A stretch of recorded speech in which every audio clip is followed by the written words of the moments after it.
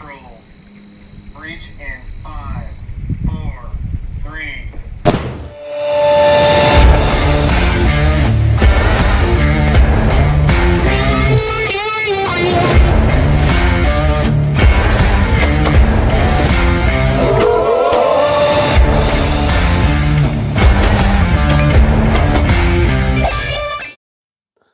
What's up, guys? I'm Uncle Freedom coming to you on another glorious and well deserved day off. And today we're going to look at Bugging in Uncomfortable Truths, Volume 2.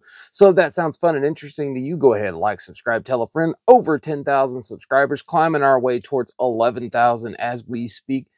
It's been freaking amazing. As always, if you're looking to get in touch with me, it is at Uncle Freedom 213 on Facebook or Instagram. And if you're in a lot of those Facebook groups, like mid tier snobs or uh, don't be poor or plate carrier groups, things like that, and you see a guy by the name of Uncle Freedom comment on it, it's me. So, yay for that. And that's awesome. I just jack John Lovell's yay for that thing. Anyway, um, I am there in the websites portion of Facebook or Instagram. Uh, and on Instagram, it's in the bio. There is a link there that will take you to my Linktree account. There, all of the affiliates of the channel exist. People like Coltac, Gun Mag Warehouse, Dry Fire Mag, Warren Tactical, lots of great stuff. Good people out there. Uh, you can also find me at Uncle Freedom 213 at Outlook.com. So, bugging in volume two. This comes on the heels of the really successful Uncomfortable Truths of Preparedness, volumes one through four. Also, the Bug Out Bag Uncomfortable Truths, volume one through three. Lots more stuff on the way. Be sure to check out the Bags of Preparedness saga videos where I deep dive kind of the methodology and thought process behind things like your get home bag, your bug out system, and even your EDC bag. So, bug out, bugging in uncomfortable truths, volume two. Here we go. Number one, the world as you know it may have actually ended, but Mother Nature still exists and gets a vote in whatever you do.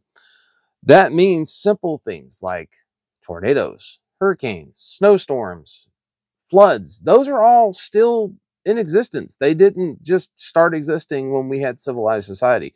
So, in addition to all of the things you are already going to have to deal with in a world without law or TEOTWAWKI, you are also going to have to deal with Mother Nature, whether you like it or not. And she is absolutely mean and does not care whether you live through it or not. Think the poor people in Texas during the snow and ice storms.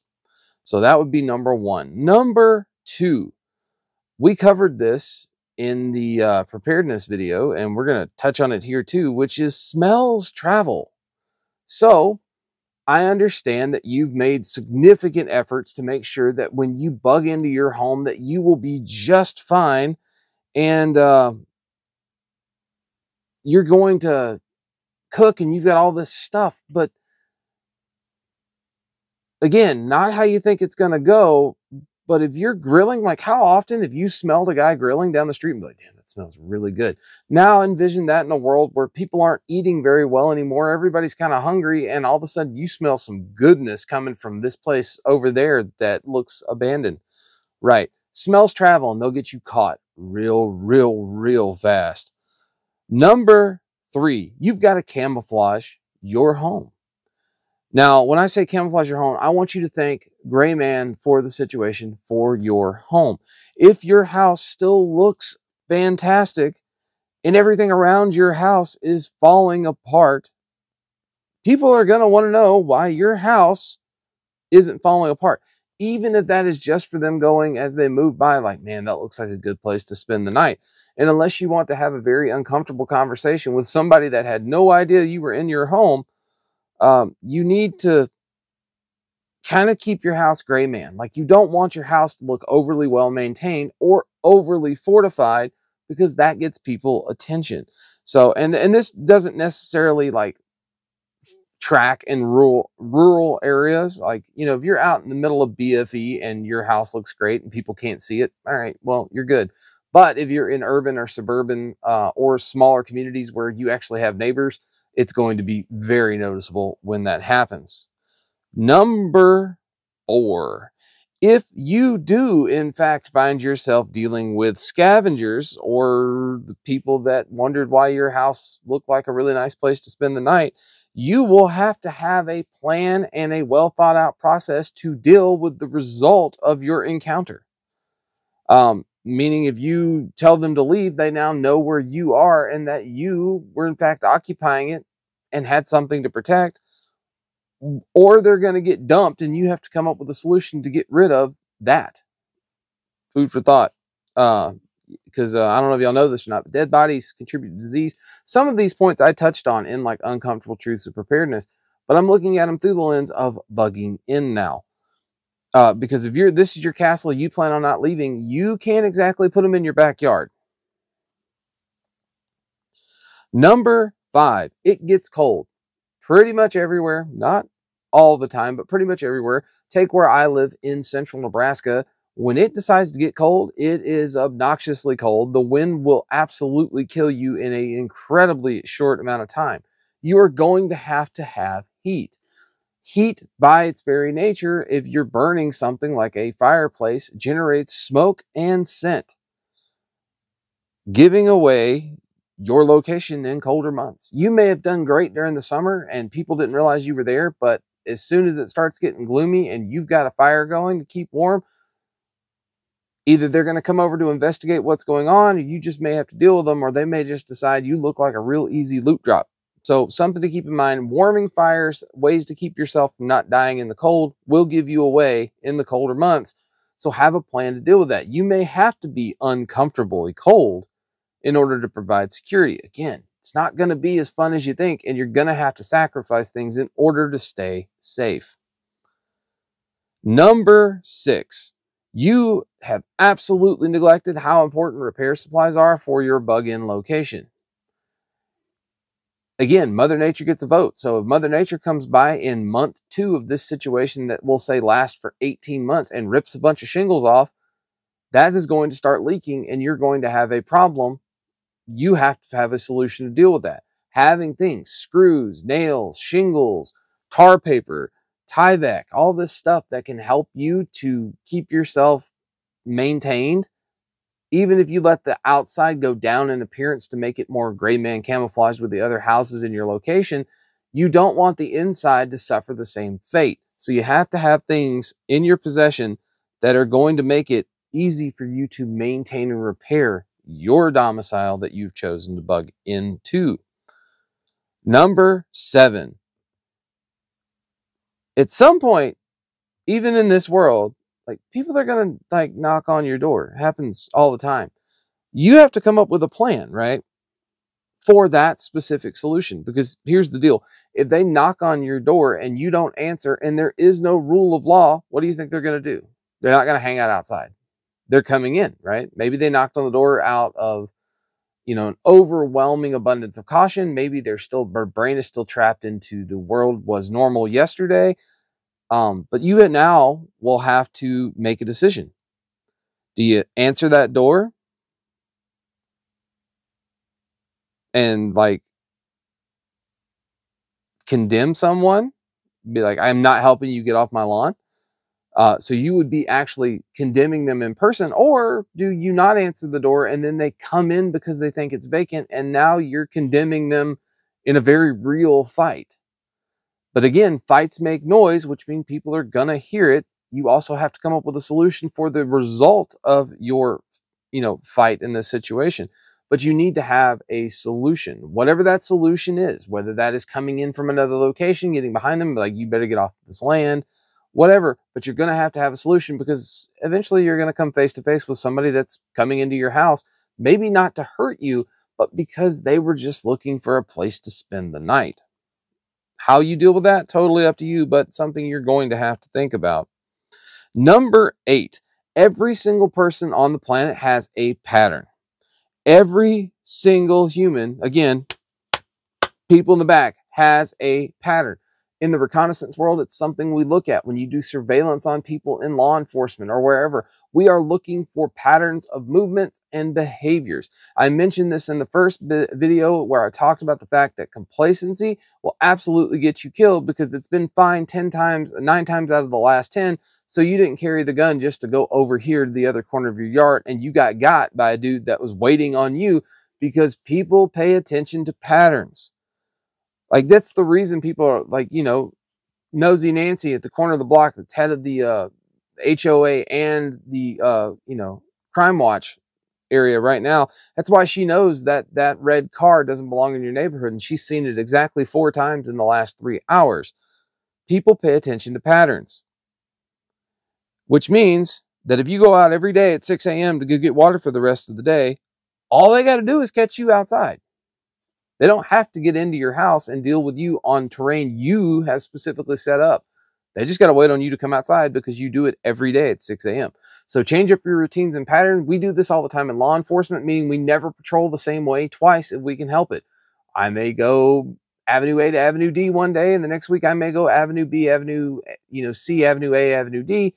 You're going to have to change up the way you do things so you don't create a pattern that other people pick up on. And that make no mistake, this is a conscious effort because human beings will by nature fall into a pattern of convenience and comfort.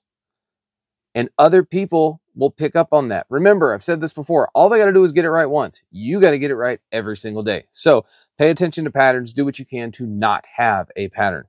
People that are unpredictable have a very hard time being got because it's freaking unpredictable. If you are regular as a watch every single day, you're going to get caught. Number nine, bugging in creates what's known as a manageable defense scenario. It, however, is by no means an impenetrable defense scenario. Just because you have made certain areas easier to come in so that you could funnel people, if you don't know what I'm talking about, go back and watch my 13 tips and truths of home defense. You are creating the battle space and you have made it manageable because you've limited ingress to maybe two specific points and you've landed, you know you've managed egress to a couple of points plus some emergency.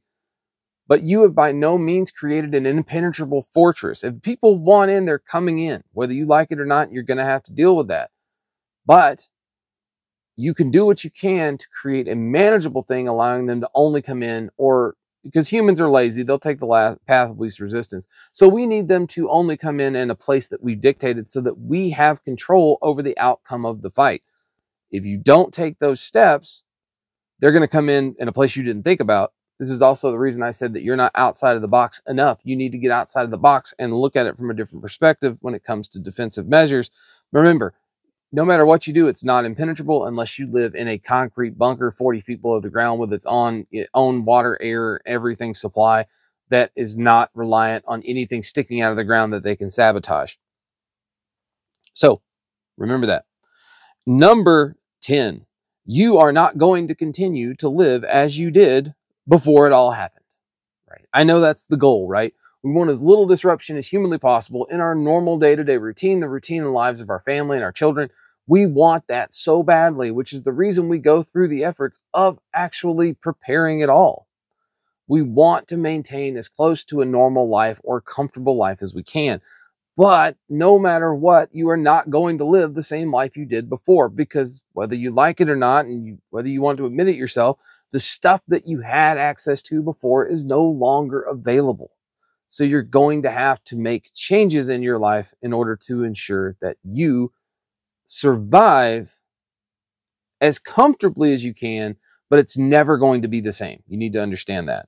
So now, three bonus points for you today, and I'll let you guys go on the uncomfortable truths of bugging in volume two. The first one is unless you live on a very large tract of land away from people, bugging in is probably going to be a much shorter endeavor than you thought because much like anything in nature if you if people decided they want what you have they are either going to take it or like a screaming 3-year-old that breaks the toy that so their sister can't play with it they're just going to ensure you don't have it either. Remember they don't have to steal it from you they just have to make it unusable for you.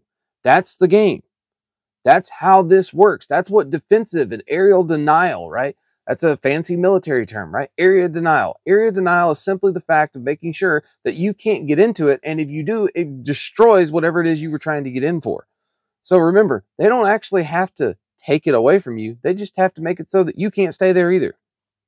So unless you live on a very large tract of land way out in the rural area where nobody can come to where you're at without like a long warning sign, it's probably going to get cut short because you're going to have an incident. Bonus point number two if you are already not managing a successful garden every single year, you are not going to successfully start a garden after shit hits the fan. Holy crap, I don't feel like I should need to say this, but it's so important because I see it all the time from people that are like, well, you know, I've got all my seeds and stuff, so when it happens, I'll just plant my garden. It takes time to develop and cultivate a successful garden right? It just does. Your first year planting stuff may not grow crap because the soil is of poor nutrient content. But your second year, because of decomposing plant matter or what have you, you actually grow exceptionally good crops. If you're not already managing these things and creating your own crops from the ground and canning and, and, and preserving those things, and you have a steady supply of heirloom seeds so that you can continue replanting, you are not going to have a successful garden after it starts. You have to have that going now. And final bonus point number three the only true way to ensure your survival through food is to be raising animals for harvest. We can all jar meat, we can, you know, we can can meat, we can make beef jerky, we can do all of these things. We can have autonomous power supplied freezers and stuff to keep meat fresh and preserved, but you're going to have to have some other skill sets, things like salt curing meat, or low or, or low temps, you know, cold smoking meat, something like that to kill bacteria, dry that stuff out, and actually make it so you can sustainably keep it is one side of it. But then again, how many guys go hunting and never see a deer? That's a real thing and it can happen. And it happens more often than people going out and finding a deer. So the only true way that you're going to have fresh meat on any consistent level is for you to actually be raising that for harvest, whether that is goats, whether that is rabbits, whatever. A lot of my friends all do chickens, so they have a ready-made supply of eggs. But I will tell you that small incremental changes in those chickens' habitat, like when he built a new house, suddenly left him not getting eggs for like eight months because the chickens were flustered, so they didn't lay eggs. That is a real thing.